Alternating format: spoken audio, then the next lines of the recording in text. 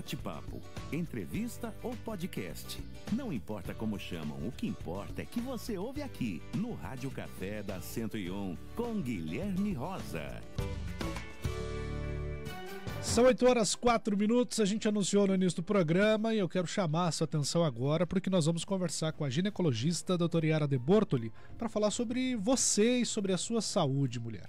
Doutora Yara, bom dia, seja bem-vinda à programação do Rádio Café aqui da 101 FM. Bom dia, muito obrigada pelo convite, fiquei muito feliz de poder participar e passar um pouco de informação para as mulheres. Doutora Yara, a senhora está há 35 anos na área da ginecologia. Sim. Mas como é que foi partir para essa área mais específica que é a ginecologia regenerativa? É, eu por 30 e poucos anos eu fiz obstetrícia, muita obstetrícia, cuidava das gestantes. E conforme a vida vai mudando, os movimentos vão mudando, e eu comecei a me interessar muito pela questão da ginecologia na mulher, em função de que começaram a surgir muitas queixas no consultório. E era outro momento de vida também, então eu comecei a me dedicar para a ginecologia regenerativa, buscando uma medicina, uma ginecologia mais moderna, no sentido de restaurar, de reparar as deformidades do corpo da mulher que vão acontecendo com o tempo. Certo. É, por mais que pareça óbvio o termo regenerativa, é, enquanto jornalista eu penso que o óbvio precisa ser dito. Sim para Dona Maria, que está lá no bairro Bela Vista, o que, que é a tal da ginecologia regenerativa, doutor? Então, o termo regeneração vem de reformulação, reforma, reorganização. E a ginecologia regenerativa, ela tem a função de restaurar, de melhorar, de corrigir os defeitos que a vida vai, vai acarretando na vida das mulheres. E com isso, ela lança mão de uma série de tecnologias para melhora, por exemplo, exemplo, de uma incontinência urinária, de uma alteração pós-parto, de uma frouxidão vaginal, ou até também correções estéticas que possam estar interferindo de uma maneira funcional na vida de cada uma das mulheres, né? Vamos lá. É... Vamos supor que, por exemplo, a Daiane teve um filho. Sim. E aí. É, o que, que, pode acontecer nessa questão de ter que regenerar o corpo dela? Então, a gestação, assim como a obesidade, ela provoca um, uma frouxidão do assoalho pélvico. O assoalho pélvico é um conjunto formado por ossos, músculos e ligamentos que sustentam todo o nosso corpo. No meio do assoalho pélvico, nós temos a vagina, a bexiga e o intestino, que fica a parte mais baixa do corpo. Tudo isso sustentado por um emaranhado de músculos. Quanto maior o peso sobre essa estrutura, mais existe uma frouxidão desse assoalho. Consequentemente, a gestação, o parto normal, podem provocar um, uma certa frouxidão e, com isso, a mulher notar alguns sintomas. Por exemplo, perda de urina logo após o nascimento do bebê, que é muito comum, porque o tecido todo, o corpo todo da mulher sofre alteração. É aquilo Também... que chamam de bexiga baixa? Desculpa interromper. É, a bexiga baixa seria mais uma alteração anatômica. Muitas mulheres, elas têm alterações, uh, no caso pós-parto, que podem ser apenas transitórias uhum. e não deformidades uh, que duram, né? Pode ser transitórias e, e com isso a ginecologia regenerativa ela busca restaurar. Isso é um dos exemplos que eu falei, né?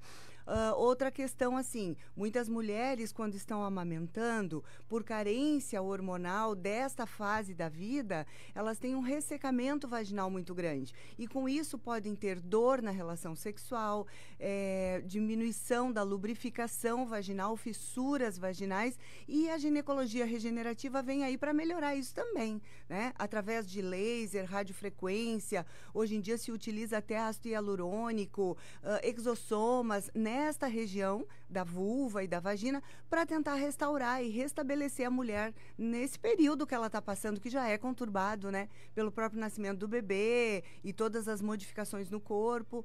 E isso mexe muito com a autoestima das mulheres, né? Doutora, pesquisando um pouco sobre o tema, eu vi alguns relatos de mulheres que, depois de uma certa idade, reclamaram que a, a que a sua genitália ficou maior. Sim pode acontecer, a, a ginecologia regenerativa consegue auxiliar nessa questão, Sim. sem passar por um processo cirúrgico, que hoje em dia também está muito uhum, na moda? Exato.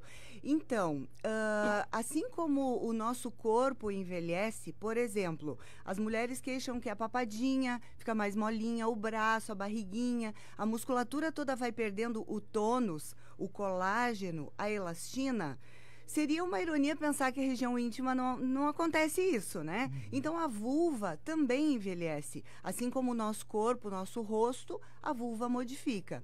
E com essa modificação, uh, a gente vai perdendo gordura e o, o lábio externo da vulva, ele é, é essencialmente sustentado pela gordura e pelo colágeno.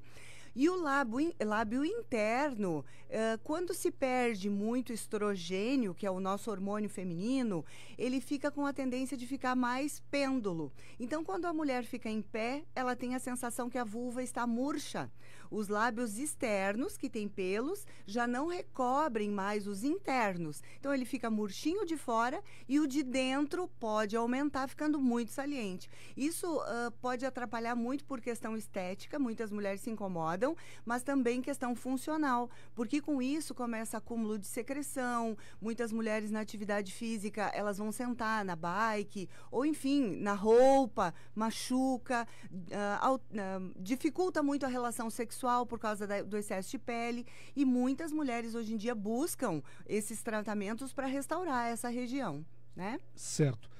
Doutora, falando ainda sobre a questão da mulher, a gente falou sobre isso que pode acontecer, não, geralmente não acontece com, com meninas mais novas. Sim. Mas o cuidado da saúde, visitar um ginecologista, é, é, é, mais do que uma necessidade, é uma obrigação da Com mulher. certeza. É, você falou em meninas mais novas. Antes eu te falar, de eu te falar sobre a importância do ginecologista, uh, tem uma, um fato bem importante que tem algumas meninas que nascem já e que no, no período da, da, da adolescência, da puberdade, começa a ver uma certa hipertrofia do lábio interno. Isso é uma coisa que incomoda muito. Então, não necessariamente dependa da idade. Tem mulheres que nascem com o lábio interno muito grande e isso uh, prejudica, incomoda essa menina jovem. Para isso também a ginecologia regenerativa faz a redução desse lábio interno sem que haja necessidade de ir para o hospital, tomar anestesia geral e como era antigamente, uhum. tá? Então só para falar que essas alterações anatômicas elas não acontecem só com o envelhecimento, podem acontecer em mulher jovem.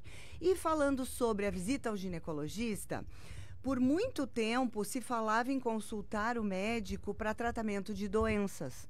Hoje em dia, Uh, a medicina mudou muito e a ginecologia especificamente espera que a mulher vá ao consultório para fazer a prevenção de doenças. A gente faz a prevenção do câncer de mama, de colo de útero, de outras doenças e também das doenças vaginais, vulvares, né?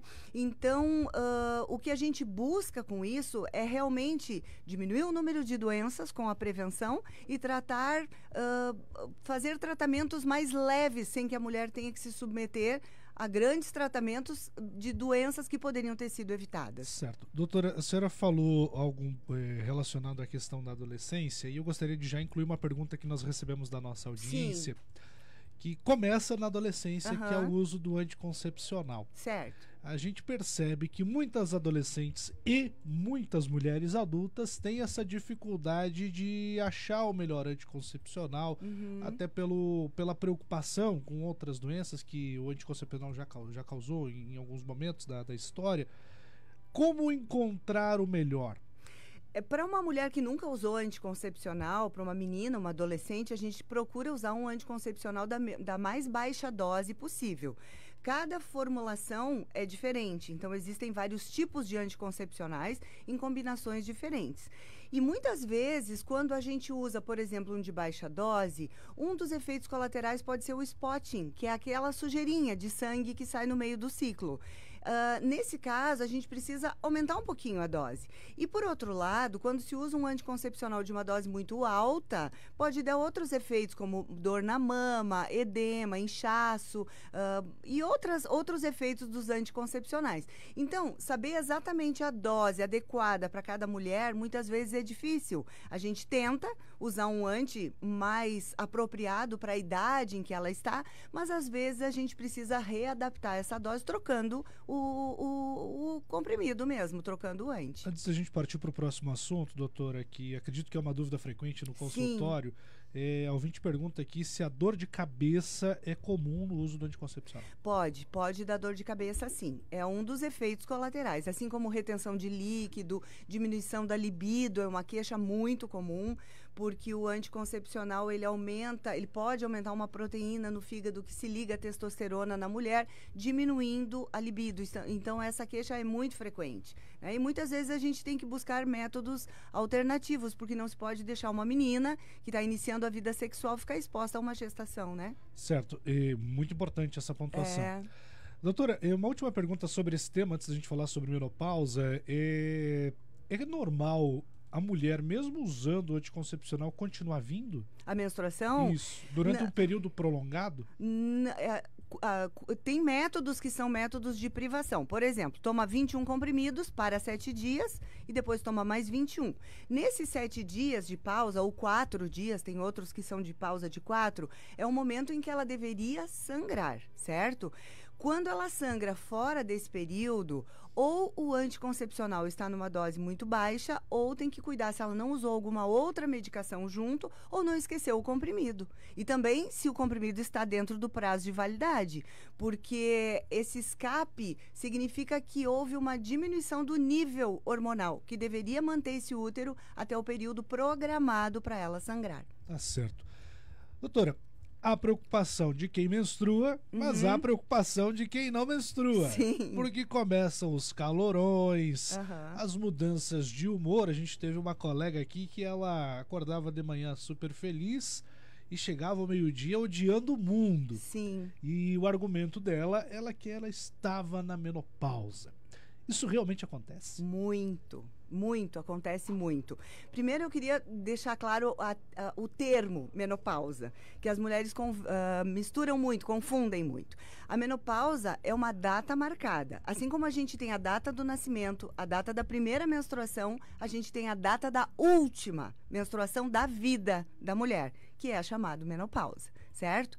E isso ocorre mais ou menos lá pelos 50, 51 anos. O que acontece, que é muito frequente e que dá muitos sintomas, é aquele período que antecede a menopausa, que começa em torno dos 45 anos e vai até a última menstruação, que seria a menopausa.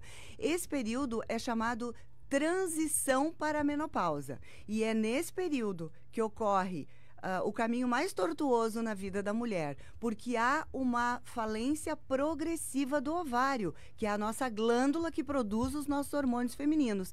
Então, um dia ela está bem, um dia ela não está bem, um dia ela está ótima de manhã, à tarde ela está chorando, à noite ela está faceira, e é assim, até estabilizar a, a, perda total desses hormônios com a falência ovariana e a chegada da menopausa. Desculpe a minha ignorância no assunto, mas uhum. seria quase uma TPM mais intensa? É mais ou menos isso, para os homens conseguirem entender o que, que acontece no corpo da mulher. Você imagina que nós temos uma, uma, duas glândulas, que são os nossos ovários. Esses ovários, eles são regidos pelo sistema nervoso. E o sistema nervoso manda o ovário trabalhar. E a função do ovário no corpo da mulher é produzir estrogênio, progesterona e testosterona, que mantém o nosso corpo durante a nossa vida fértil. Chegando um período próximo, uh, ali aos 45, o ovário começa a morrer dia a dia e ele começa a diminuir a produção. Então, tem dias que ele produz muito estrogênio, tem dias que ele não produz nada. E isso reflete na oscilação hormonal uh, com sintomas semelhantes aos sintomas da TPM. Tem como dar uma reduzida nesses sintomas? Claro. Então, a ginecologia regenerativa, ela veio para restaurar o corpo. A parte hormonal, ela vem para restaurar a parte hormonal, o que a gente não enxerga, mas que circula dentro do nosso sangue. Então, a gente tem uma série de suplementações que se pode usar para amenizar os sintomas e também para aquelas pacientes que têm indicação ou não têm contraindicação, a gente usa terapia hormonal para mulher na menopausa. Doutora, uma última pergunta não tem muito a ver sobre o assunto. Se a senhora não puder responder, a gente vai entender, mas é pergunta do ouvinte. E hum. o Gustavo pergunta: Bom dia, adenomiose pode ser tratada com dilmirena? Uh, eu diria que a adenomiose é uma das maneiras da gente controlar, porque a adenomiose é um crescimento do útero que cursa com dor e sangramento. E normalmente ela entra nesse período de transição. Foi bem prudente a pergunta. Nesse período de transição da menopausa até o dia que ela vai parar de sangrar. Só que enquanto isso não acontece, a mulher sofre muito. E uma das alternativas de tratamento é a utilização do Mirena, que é um DIU que contém progesterona. Tá certo. Tá? Doutora, infelizmente o nosso tempo está esgotado. Terminou. Mas é, fica o convite para que a senhora venha mais vezes para poder esclarecer as dúvidas dos nossos ouvintes, não só das mulheres, porque acredito que teve muito homem, né? A exemplo Com do, certeza. do nosso ouvinte que mandou a pergunta aqui. Qual é o endereço, telefone para contato, para que o pessoal possa marcar uma consulta com a senhora, bater um papo e tirar Sim. suas dúvidas? É, o meu consultório é no edifício Policenter, sala 205. O telefone é 3433 3278. Perfeito, muito obrigado, doutora. Eu que agradeço muito o convite, fiquei muito feliz de participar e poder ajudar as mulheres, né? E os homens também, a entenderem as mulheres na menopausa. E uma última questão, é muito importante que o homem entenda os ciclos da mulher, porque é totalmente diferente da do homem. Né? Exatamente. O homem é sempre muito intransigente, precisa ter esse bom senso de fato. Exatamente. E é muito interessante quando os, as mulheres vão constar com os maridos, os parceiros, porque eu consigo, assim, de uma maneira mais uh, individualizada, tentar explicar para eles tudo o que acontece no corpo da mulher e, a, e quanto é importante a, a, a presença da, do marido ali do lado para auxiliar, principalmente na transição menopausal, que é esse caminho meio tortuoso que a gente passa até chegar à última menstruação. Perfeito. São 8 horas e 21 minutos. Você ouviu? Lembrando que essa entrevista está disponível lá em redeprincesa.com.br também. 8h21, Maravilha Móveis, Cressol, Gale Máquinas junto com a gente aqui no Rádio Café.